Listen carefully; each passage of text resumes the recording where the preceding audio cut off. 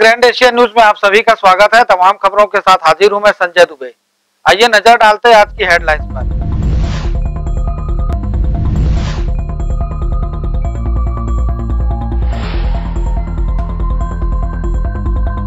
खैरागढ़ उपचुनाव में कांग्रेस प्रत्याशी को मिली जीत। भाजपा प्रत्याशी को 20,000 से अधिक मतों से हराया।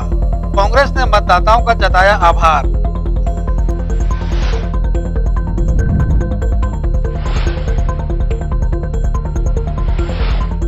हनुमान जयंती के अवसर पर दुर्ग की व्यायामशाला में पर्यावरण को सहेजने 24 कुंटी सूक्ष्म यज्ञ का आयोजन। यज्ञ पर बैठे दंपतियों ने पूजा अर्चना के बाद लगाए पौधे।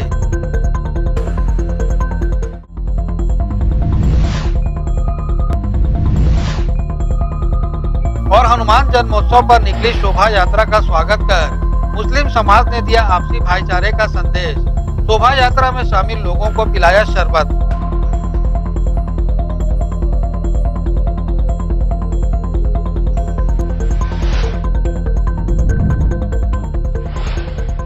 खबरें विस्तार से। राजनांदगांव ज़िले के खैरागढ़ विधानसभा उपचुनाव में कांग्रेस की यशोदा वर्मा को बड़ी जीत मिली है। यशोदा वर्मा ने 20,000 से अधिक वोटों से जीत हासिल की है। बीजेपी के कोमल जंघेल का यशोदा वर्मा का सीधा मुकाबला हुआ।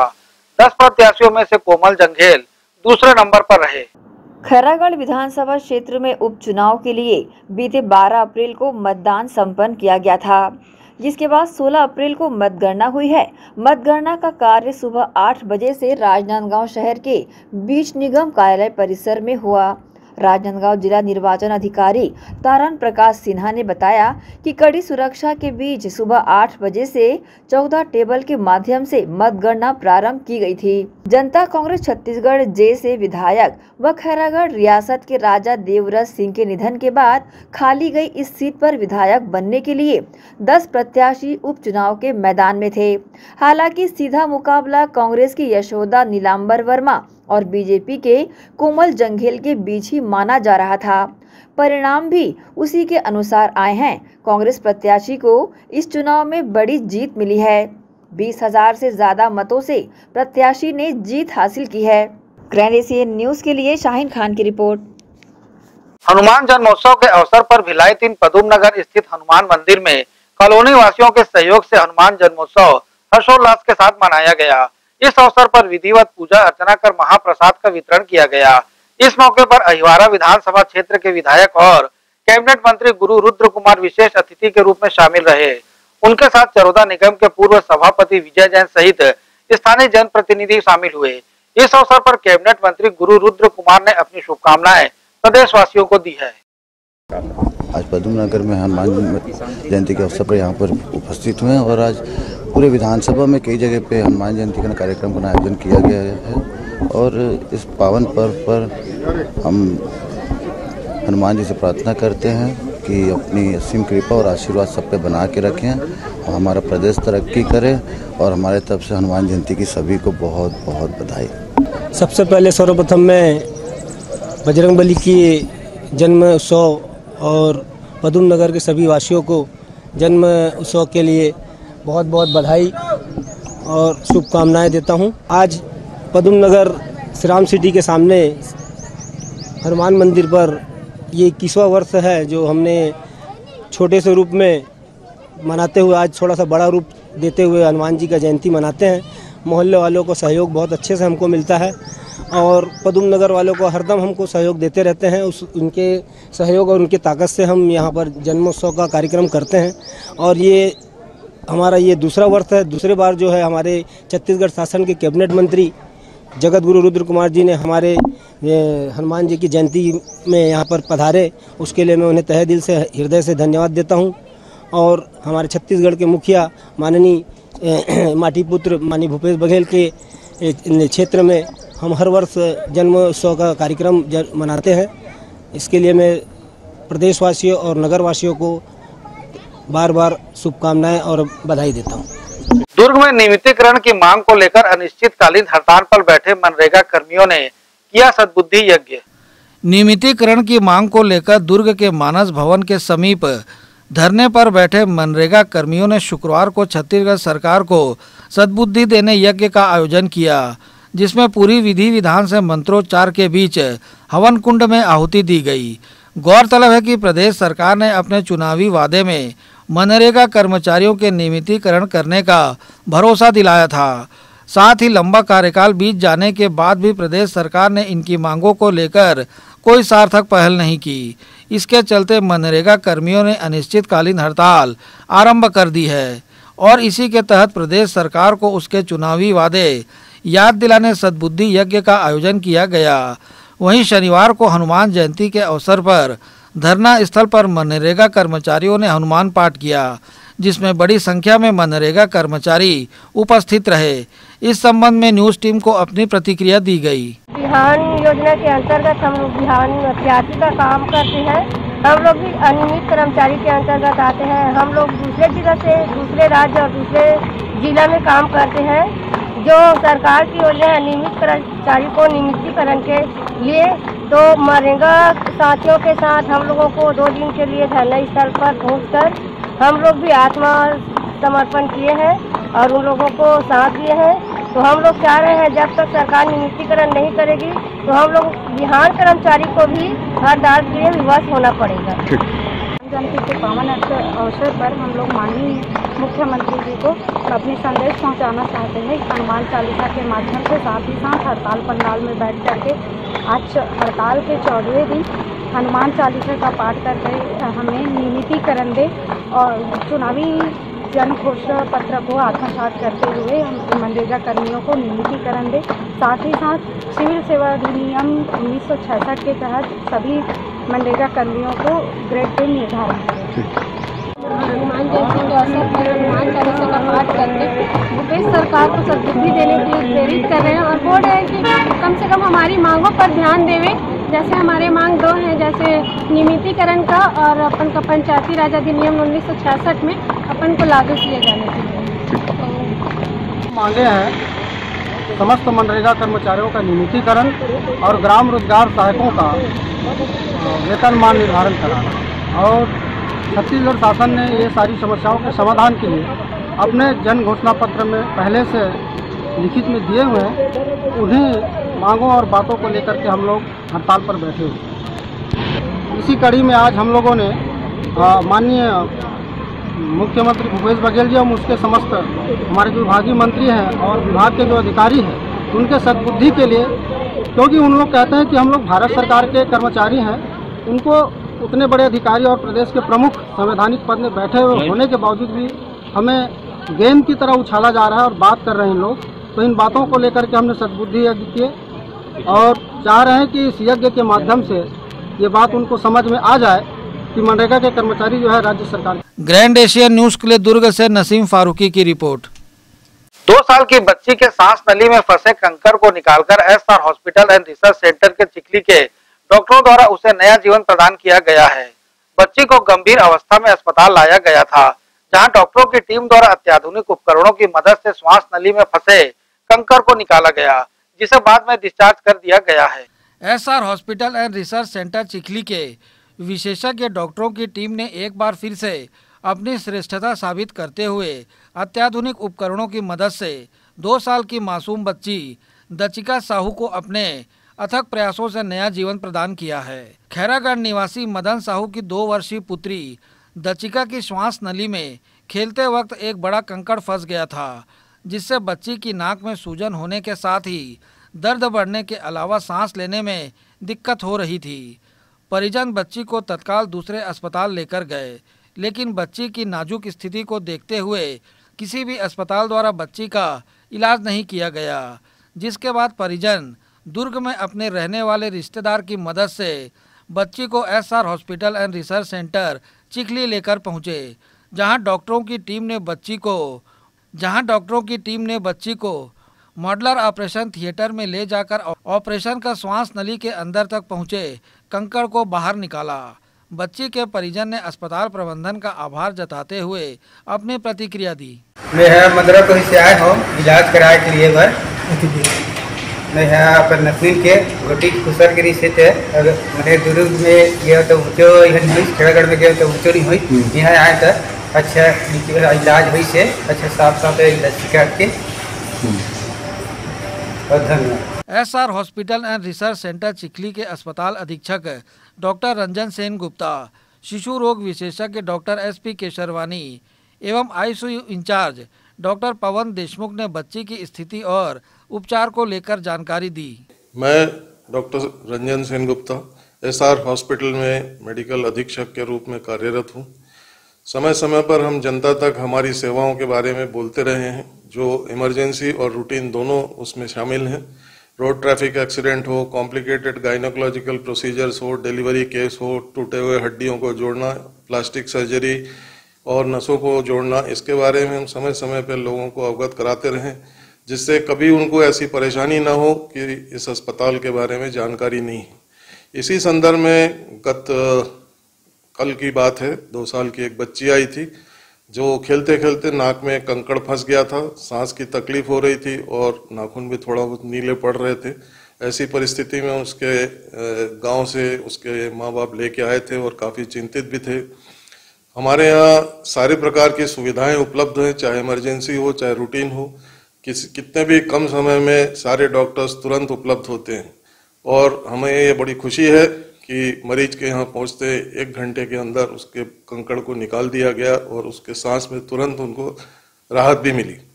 इससे परिजन भी काफ़ी सेटिस्फाइड थे और बच्चे की जान भी बच गई।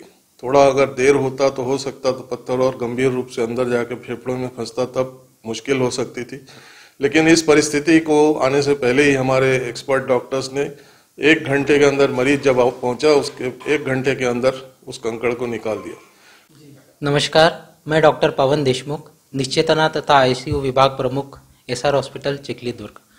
हमारे यहाँ खैरागढ़ से एक दो साल की बच्ची आई थी कुछ दिनों पहले जिसकी नाक में एक कंकर खेलते हुए उसने घुसा लिया था।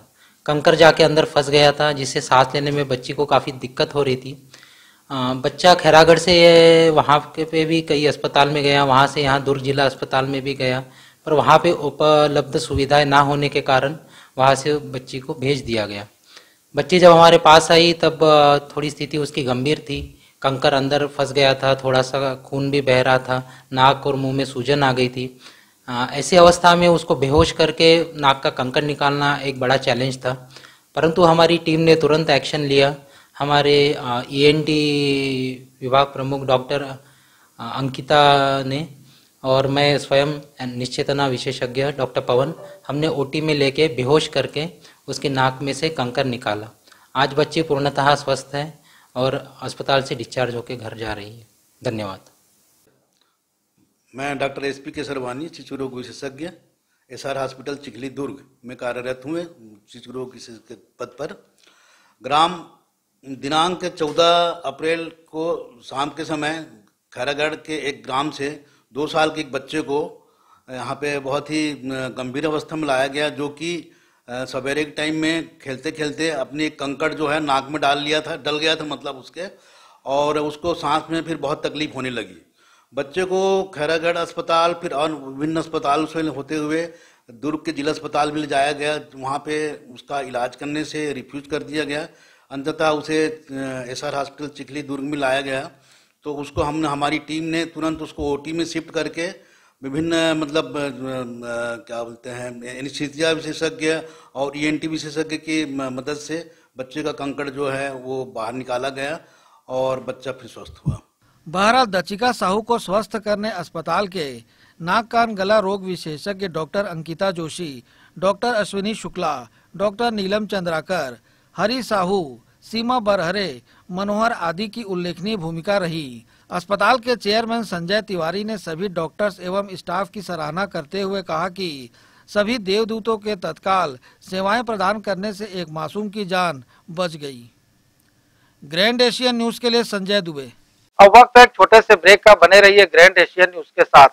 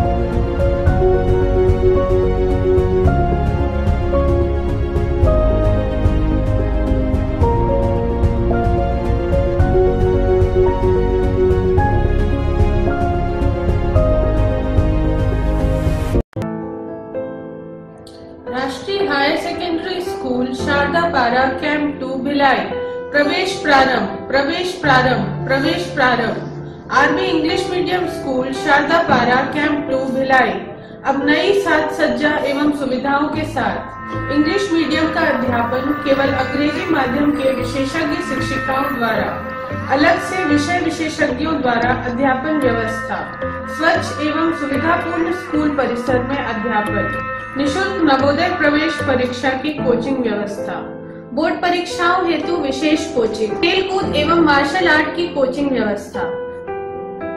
गांधी विद्यापीठ के विषय विशेषज्ञों, शिक्षकों द्वारा विशेष सहायता, बस सुविधा उपलब्ध। अपने बच्चों के सुनहरे भविष्य के लिए आज ही संपर्क करें।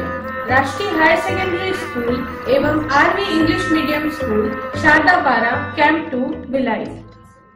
Gandhi Vidyapeeth English medium higher secondary school nursery से कक्षा बारहवीं में प्रवेश प्रारंभ। हमारी ध्येय कम शुल्क में छात्रों के शिक्षा एवं विकास के लिए बेहतर सुविधाएँ प्रदान करना। प्रशिक्षित एवं अनुभवी शिक्षक शिक्षिकाएँ सभी बच्चों के लिए खेल का मैदान एवं खेल सामग्री की व्यवस्था। सीसीटीवी कैमरे द्वारा निगरानी परिवहन सुविधा सुसज्जित विज्ञान एवं कंप्यूटर लैब स्मार्ट क्लास सभागार और पुस्तकालय की सुविधा। 100 प्रतिशत परीक्षा परिणाम। श्रेष्ठ छात्र को विशेष पुरस्कार। चिकित्सकीय जाँच, नर्सरी और केजी कक्षा के छात्र को चार्ट मॉडल एवं क्ले के माध्यम द्वारा शिक्षण, नवोदय एवं अन्य प्रतियोगी परीक्षाओं के लिए विशेष कोचिंग। हर वर्ष विद्यार्थियों का नवोदय में चयन। स्काउट गाइड और रेड क्रॉस सोसाइटी। विज्ञान प्रदर्शनी, आनंद मेला, वार्षिक दिवस और वार्षिक खेल दिवस का प्रतिवर्ष आयोजन। नैतिक शिक्षा के माध्यम से छात्रों की प्रतिभा का विकास। Gandhi Vidyapeeth, English medium higher secondary school Radhika Nagar Bhilai product by Goyal sales वर्नेटो air cooler quality summer solution दमदार परफॉर्मेंस और बेहतरीन ठंडी हवा के लिए बड़ी साइज़ और शानदार डिज़ाइन कॉपर मोटर और ज़्यादा वाटर स्टोरेज के साथ. कम आवाज़ और ज़्यादा कूलिंग क्षमता वाला बर्नेटो एयर कूलर बिजली की कम खपत. Multiple speed control galvanised steel body 20 percent की छूट सीमित समय के लिए। घर, ऑफ़िस और इंडस्ट्रीज़ में बेहतरीन ठंडी हवा के लिए गोयल इंडस्ट्रीज़ का बर्नेटो air cooler.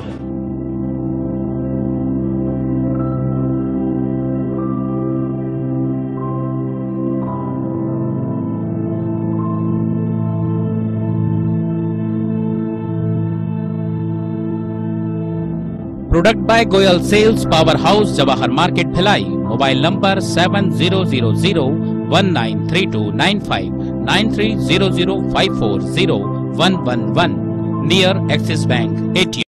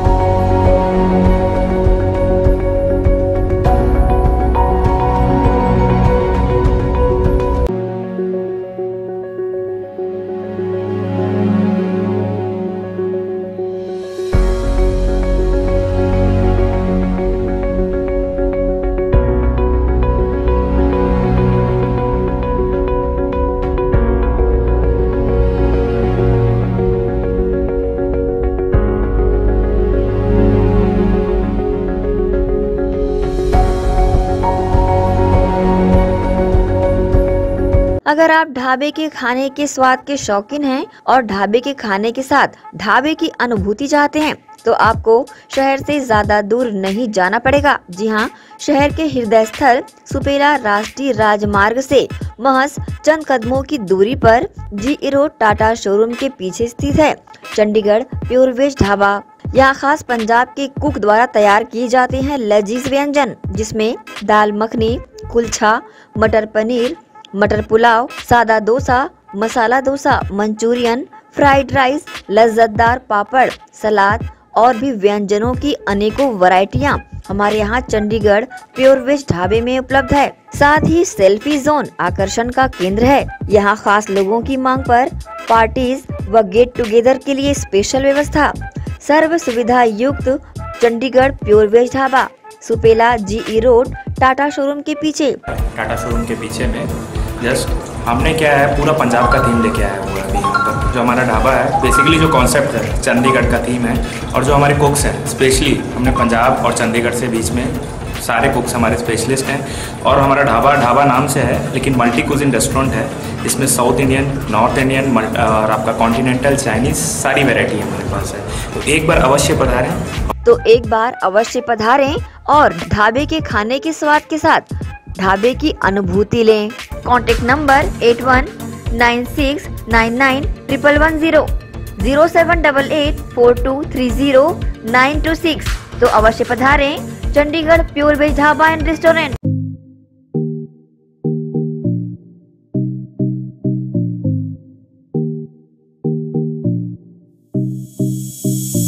BM Shah super multi speciality hospital.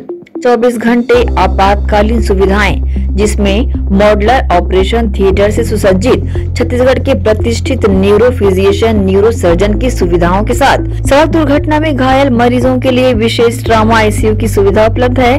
Hospital में हृदय रोग विशेषज्ञों की टीम के साथ एडवांस कैथ की सुविधाएँ, साथ ही जिसमें एंजियोग्राफी, एंजियोप्लास्टी पेसमेकर की सुविधा उपलब्ध है। हॉस्पिटल में medical ICU, surgical ICU, NICU burn unit के साथ डायलिसिस की सुविधा 24 घंटे उपलब्ध है। हॉस्पिटल के सभी वार्ड एयर कंडीशनर होने के बावजूद सबसे किफायती दरों में उपलब्ध general ward private room deluxe room super deluxe room की सुविधाएँ उपलब्ध है। हॉस्पिटल में गायनिक डॉक्टर्स की एक्सपर्ट टीम नॉर्मल डिलीवरी एवं सिजेरियन के लिए सुविधा 24 घंटे उपलब्ध है। साथ ही साथ महिला एवं बच्चों के लिए अलग अलग वार्ड की सुविधा उपलब्ध है। हॉस्पिटल में सभी प्रकार की जाँच जैसे MRI, CT scan sonography 2D echo ECG EEG endoscopy X ray खून एवं पेशाब की जाँच की सुविधा बेहद किफायती दरों में उपलब्ध है। हमारा पता PM Shah multi speciality hospital and research centre Shastri Nagar Supela Bhilai Chhattisgarh. Phone number triple seven three zero triple seven double one triple seven three zero triple seven double two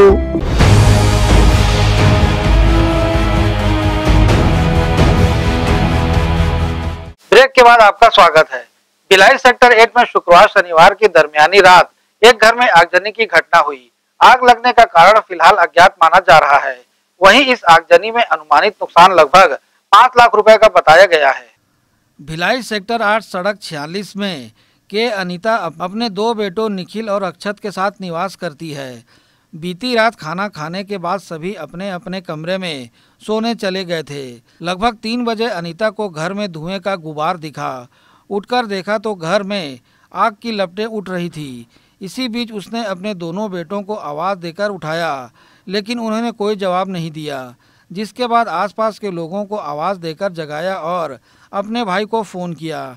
जिसके बाद सभी ने मिलकर धुएँ के गुबार के बीच से बेहोश हो चुके दोनों पुत्रों को बाहर निकाला। फ़िलहाल दोनों पुत्र अस्पताल में प्राथमिक उपचार के लिए भर्ती कराए गए हैं। वहीं आगजनी की घटना को लेकर अनीता के भाई दुर्गा सिंह ने बताया कि लगभग तीन बजे आगजनी की बात पता चली। इसके बाद फायर ब्रिगेड को फ़ोन कर बुलाया गया। दमकल कर्मियों ने मौके पर पहुंचकर आग पर काबू पाया। वहीं आगजनी की घटना में लगभग पाँच लाख रुपए की अनुमानित नुकसान आका गया है। रात को लगभग तीन के आसपास मेरी बहन अनीता ने फ़ोन किया मुझे कि मेरे मकान जो three B forty six sector eight में है, कि भैया आग लग गई घर में और बहुत ज़बरदस्त आग लगी है। तो हम लोग तत्काल हम दोनों भाई अपनी अलग अलग गाड़ियों से भागे। पहले मेरा बड़ा भाई पहुँचा और उस दरमियान मैंने अपने घर से फायर ब्रिगेड को सूचना दी और थाने में उनका जो कंट्रोल रूम नंबर है, मैंने उसको सूचना दी, पुलिस को भी जानकारी दी, और इस दौरान फिर उसके बाद तत्काल मैं यहाँ पहुँचा, और यहाँ पहुँचने के बाद मैं देखा कि मोहल्ले वाले सब जमा हो गए थे, और अपने अपने साधनों से पानी के द्वारा वो आग को बुझाने का प्रयास कर रहे थे। लेकिन आग इतना विकराल रूप ले चुकी थी कि कोई भी संभव नहीं लग रहा था। घर के अंदर जैसे लोग जा रहे थे तो वो धुआँ के कारण और बच्चे चूँकि अंदर फंस गए थे, दोनों बच्चे सबसे लास्ट वाले रूम में सो रहे थे, जहाँ से आग चालू हुई।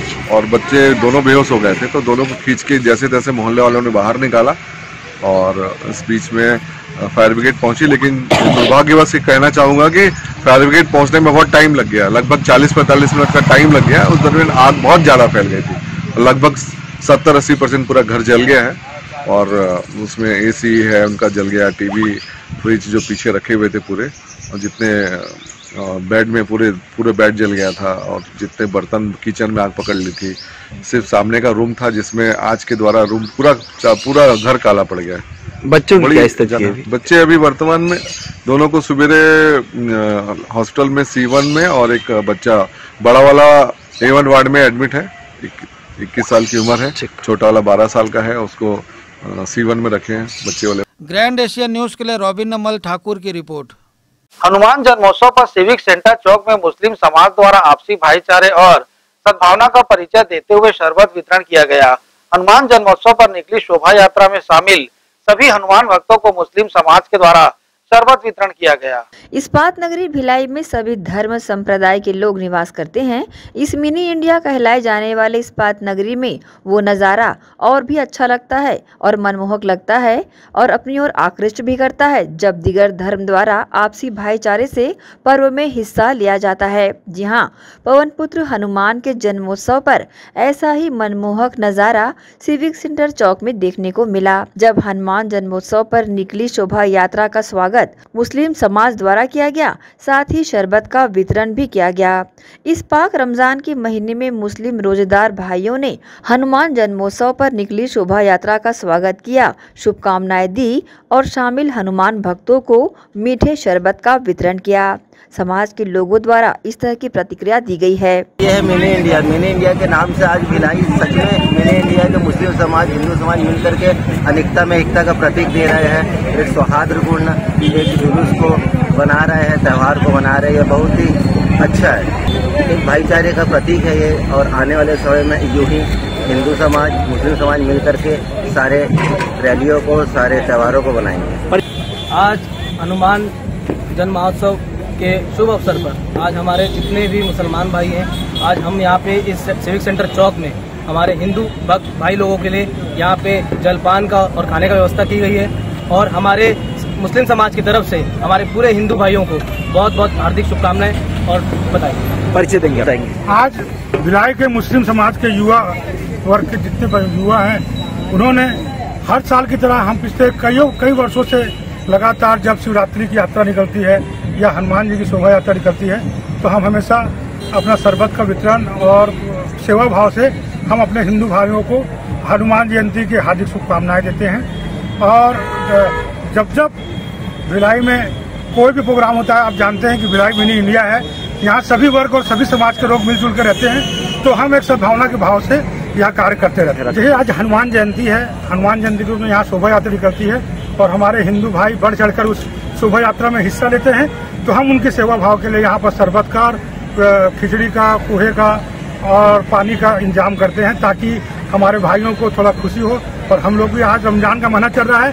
हमारे खुदा ने कहा है कि रमज़ान में जो भी सेवा करेगा, अगर एक सेवा, एक खून का काम करेगा तो जो सत्तर पुण्य काम होगा तो वैसे ही हमारे हिंदू भाई भी सेवा भाव में लगे हुए हैं और हम भी हम उनके साथ कंधे से कंधा मिलाकर मुस्लिम समाज के युवा साथ चल रहे हैं। वही शामिल हनुमान भक्तों ने भी समाज के इस प्रयास की प्रशंसा दिल से की है।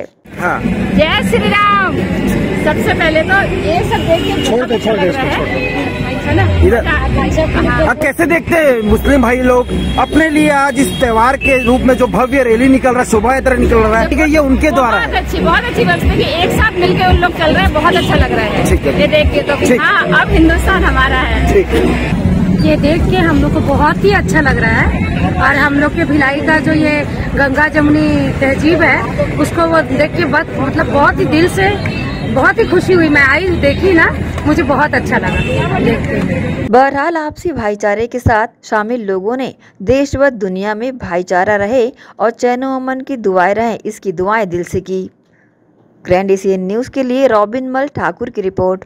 हनुमान जन्मोत्सव की पूर्व संध्या पर शुक्रवार को सामाजिक संस्था द्वारा सिविक सेंटर भिलाई में दीप प्रज्वलित कर हनुमान जन्मोत्सव की शुभकामनाएँ प्रदेशवासियों को दी गई। इस अवसर पर विशाल शोभा यात्रा का आयोजन किया गया था।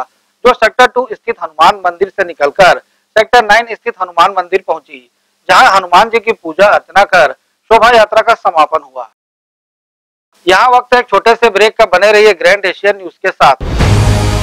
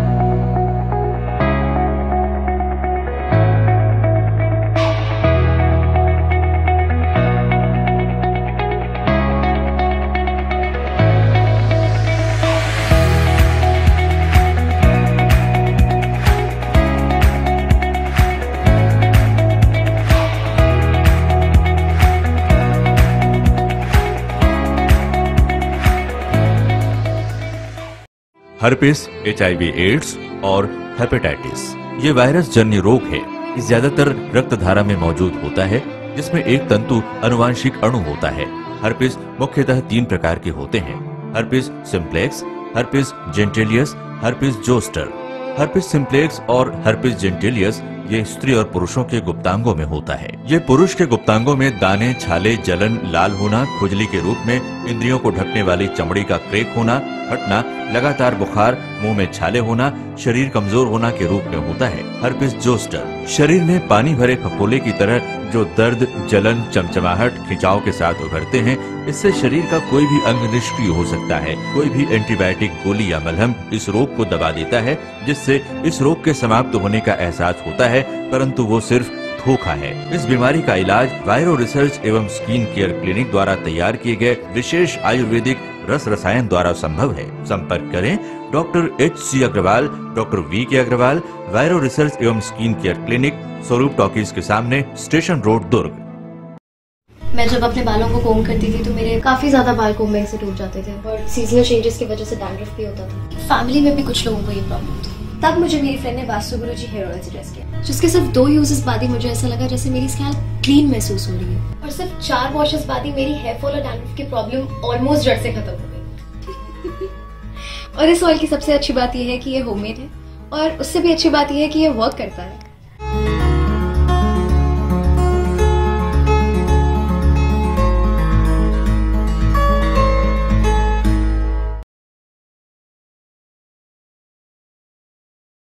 भिलाई के प्रमुख स्थल पावर हाउस में स्थित होटल शिव प्रभा इन एवं town king the family restaurant नवीन साज सज्जा एवं आधुनिक सुविधाओं से लैस। हमारी विशेषताएँ economic suite executive suite premium suite and presidential suite town king the family restaurant लाजवाब स्वाद से भरपूर नाश्ते एवं भोजन की उत्तम व्यवस्था। Banquet hall party hall conference hall, free Wi-Fi internet, new elevator, travel assistance, safe deposit vault and go down, special tariff plan for corporate, marriage and other functions. Online booking facilities available. Sweet home away from home. Powerhouse railway station व bus stand से मात्र 500 metre पर स्थित hotel Shiv Prabha inn and town king the family restaurant 46 scene market अपना केसी laws के बाजू में power house Bhilai contact nine eight nine three two one five two five one और eight nine double six nine eight one five nine zero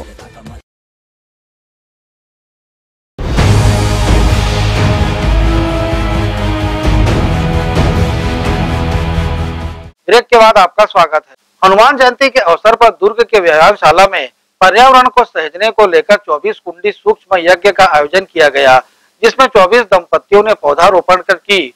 पूजा अर्चना। दुर्ग के बैकापारा स्थित लगभग 110 वर्ष पुराने व्यायामशाला में शनिवार को हनुमान जयंती के अवसर पर गायत्री परिवार के द्वारा 24 कुंडी सूक्ष्म यज्ञ का आयोजन किया गया, जिसमें बैठे 24 दंपत्ति द्वारा अपने साथ एक साथ पौधा रोपा गया। पूजा अर्चना की गई। गौरतलब है कि दुर्ग के व्यायामशाला में हनुमान जयंती के अवसर पर पर्यावरण को सहेजने और संवारने के उद्देश्य को लेकर पूजा में बैठे सभी दंपतियों द्वारा पूजा अर्चना की गई। वहीं गायत्री परिवार के सहयोग से सूक्ष्म यज्ञ के आयोजन में 24 कुंडी इस यज्ञ की खासियत यह रही कि यज्ञ में हवन कुंड में गोबर से बने दिए को रखकर हवन प्रक्रिया अपनाई गई और हवन में शामिल सभी 24 यजमानों को पीपल, नीम, बरगद के पौधे भेंट करते हुए इसके पर्यावरण संरक्षण की शपथ दिलाई गई। इस मौके पर हनुमान व्यायामशाला के सदस्यों ने कहा कि गायत्री परिवार के सहयोग से सूक्ष्म यज्ञ करा लकड़ी को कटने से बचाने और वृक्षों को संरक्षित करने का संदेश दे रहे हैं, ताकि पर्यावरण को संरक्षित करने में अपनी सहभागिता निभा सके। इस संबंध में व्यायामशाला के सदस्यों ने अपनी प्रतिक्रिया दी। आज श्री हनुमान जयंती के उपलक्ष्य में, जय हनुमान व्यायामशाला में भव्य चौबीस कुंडी गायत्री हनुमान यज्ञ का आयोजन किया जा रहा है। ये जो यज्ञ है हमारे आदरणीय गायत्री साधक गणेश भैया के माध्यम से कराया जा रहा है। एक बहुत अच्छा संदेश उनके माध्यम से सूक्ष्म यज्ञ का दिया जा रहा है कि यज्ञ में जो लकड़ियाँ हवन के रूप में डाली जाती है तो लकड़ी का ना ये मतलब उपयोग करके एक सूक्ष्म यज्ञ का उन्होंने नया यज्ञ का रूप में एक सम्मान आयोजन आयोजन किया जा रहा है जो कि हम सभी व्यायामशाला के परिवार के लिए सौभाग्य की बात है कि सूक्ष्म यज्ञ का एक हम लोगों को करने का मौका मिला। इस यज्ञ में चौबीस पौधा रखा गया है क्योंकि ये चौबीस कुंडी गायत्री हनुमान यज्ञ है तो एक एक यजमान को वो ये ये वृक्ष दिया जाएगा, जिसमें से बड़ का है, बरगद का है और पीपल का है और नीम का पेड़ है। ये सभी को अपने घरों में रखने के लिए दिया जा रहा है। जब ये पेड़ क्योंकि आप सभी को पता है कि हम वृक्षारोपण करते हैं, लेकिन 99 परसेंट वृक्ष जो है वो बच नहीं पाते हैं। तो ये जो पौधे हैं, ये अपने घर में लगाएँगे। घर में लगा के इसको एक स्थिति में अच्छे खासा बड़ा करने के बाद फिर इसको ये बाहर कहीं लगाएँगे। ऐसा एक संदेश दिया जा रहा है। नाम बता देंगे मेरा नाम वीरा शिखर राव है और मैं व्यायामशाला का प्रशिक्षक हूँ। मैं रेलवे में भी जॉब करता हूँ। कुछ ये कितना पुराना है ये व्यायामशाला और कि, कितना उपलब्ध है? दुर्ग शहर का ये व्यायामशाला जहाँ तक मेरी जानकारी है और हमने हमारे सीनियर पहलवानों से भी जो पूछा है लगभग 110 वर्ष से भी ज़्यादा पुराना अखाड़ा है। और आज थोड़ा सा ये दुखद विषय भी है रखने का मन नहीं है मगर परिस्थिति ऐसी है कि बताना भी मुझे आवश्यक लग रहा है।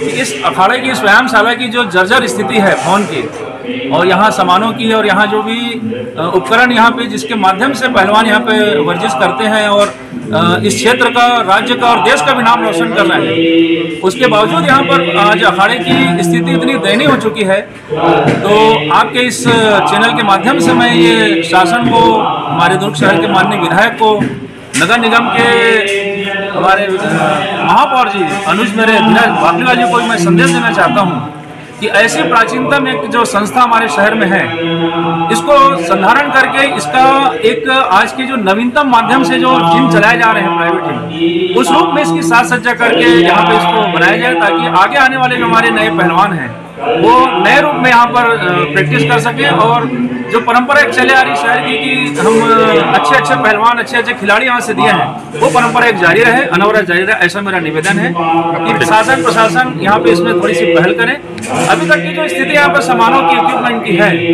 वो इन सब पहलवान भाइयों के द्वारा, हमारे द्वारा, सब पहलवान भाई अपना अपना कंट्रीब्यूशन देते हैं और उसके माध्यम से यहाँ पर हम ये साज सज्जा भी रखे हुए हैं।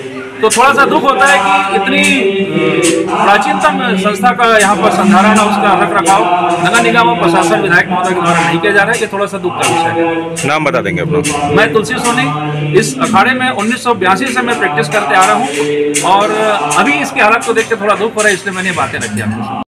कॉन्सेप्ट को लेकर आज यहाँ पे हवन कराया जा रहा है। आज यहाँ दुर्ग शहर के बहुत ही प्राचीनतम अखाड़ा जय हनुमान व्यासशाला नायक प्रभु श्री राम के अनन्य भक्त भक्त शिरोमणि महाबली महावीर हनुमान जी का प्राकटोत्सव दिवस आज मनाया जा रहा है।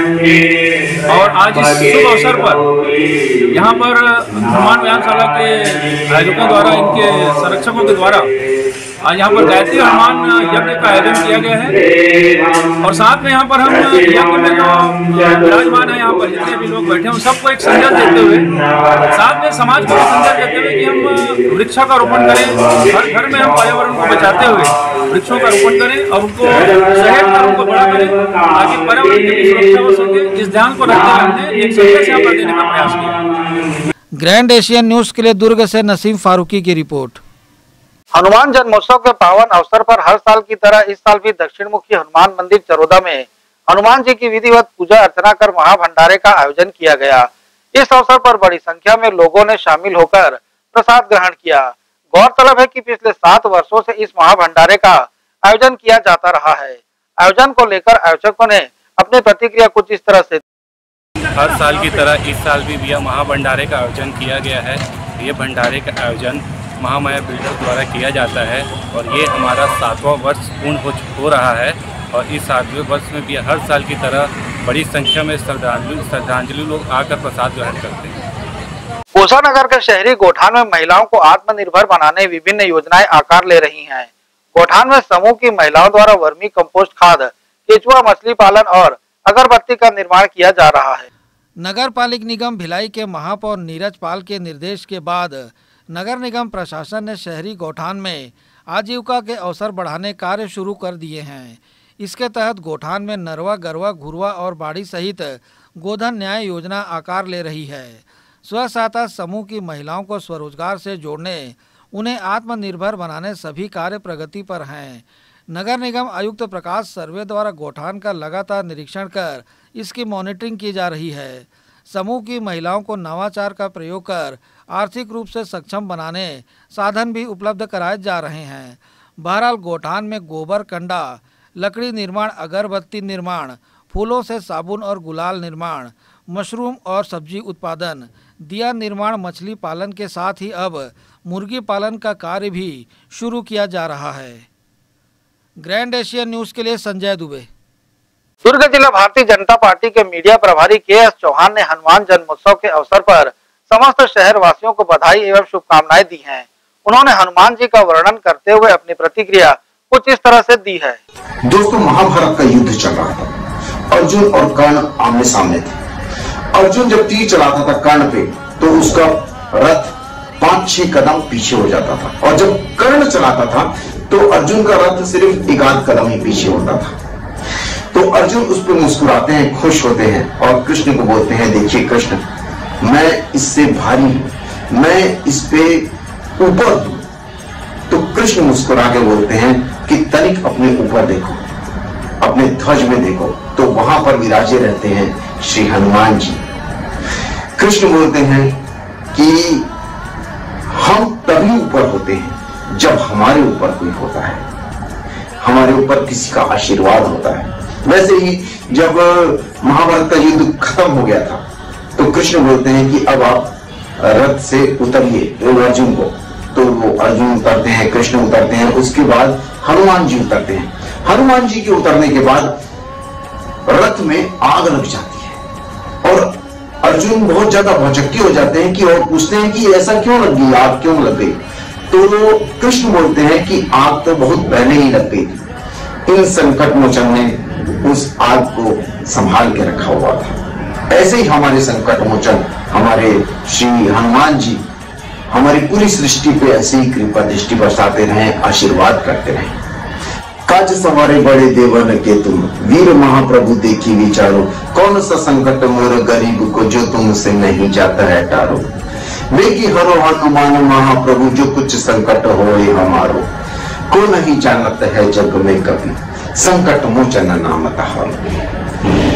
इस हनुमान जयंती की आपको हार्दिक हार्दिक शुभकामनाएँ। अभी की खबरों में फ़िलहाल इतना ही। मुझे दीजिए इजाज़त। बने रहिए ग्रैंड एशियन न्यूज़ के साथ। नमस्कार।